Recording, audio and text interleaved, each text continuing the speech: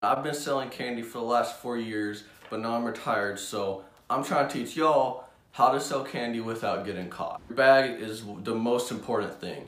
Um, you don't want it to look like you're selling candy. So if you play sports, you can use a big duffel bag and that'll work because it won't be too obvious. Um, but if you don't play sports, just use a regular backpack, like a second backpack. Uh, try not to make it too sketchy. Number two, to not get caught. Always have your head on a swivel. So whenever you're selling, make sure that you're like you you about to sell something before you do. You look around, you're like, all right, no teachers, no security, no police. You gotta make sure there's no one around except for students. And if there are, just just don't even sell. Like just completely stay away from teachers is it's a good point of view to just always have. Number three, stay away from selling to snitches. You know who I'm talking about. It's like the the super smart ones who who are like teacher pets.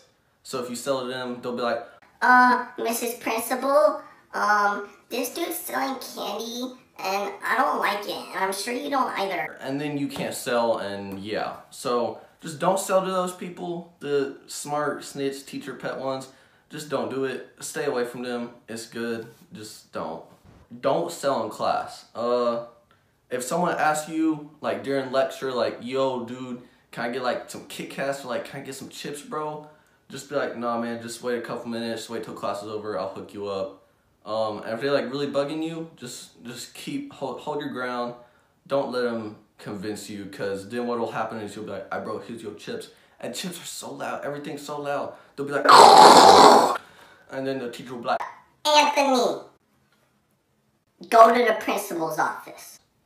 And then no more money for you. So just don't sell in class. Sell in high traffic areas. So like in the halls, if everyone's moving and it's kind of like surrounding you from keeping teachers from seeing you, or like if you're in like a big like student union where all the students go to in between classes, or just like if there's a break, sell right there. Cause one, there's more people, and while you're selling, they'll be like, oh hey, he got some chips, I want some.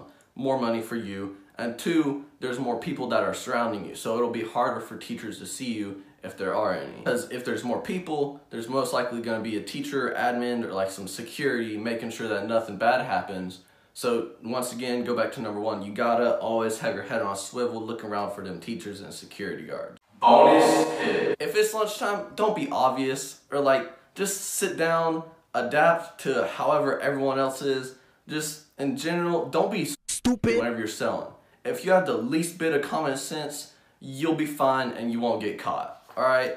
So like if it's lunchtime, everyone is sitting down. Unless you're at like some crazy school, it don't really matter if you're gonna be selling. They won't really care if you're selling. Everyone's gonna be sitting down. So if someone like waves you over to the table, just bring your bag, go sit down, and then just sell to everyone at the table, alright? Because then you're sitting down, you look like you're just eating lunch, but really you're making that dough. So pretty much just don't be stupid. But if you do get caught, you can sell before or after school. That's what I did for a little bit, but then I got caught doing that. Um, and now I'm not even gonna sell anymore at all because they, they get really mad at me. But you can also sell in between classes, and in between classes, I would highly recommend just hitting up in the bathroom or have like one positioned bathroom that everyone knows about. So like in between classes, you're in there just chilling for a couple minutes, and everyone just comes in there and you sell in there because in there, all the teachers are gonna be in the classrooms, not the bathroom. So you're chilling there. So yeah, so that's that's how you sell without getting caught.